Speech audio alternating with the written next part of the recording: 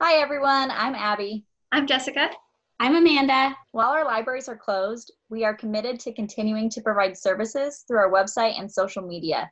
Today, we are excited to launch our quarantine readathon. As librarians, we know reading is a wonderful way to escape and to find comfort. We have designed this program to encourage pleasure reading for all ages while everyone is home this spring. Join our readathon by signing up here and log all the books you read from now until May 31st.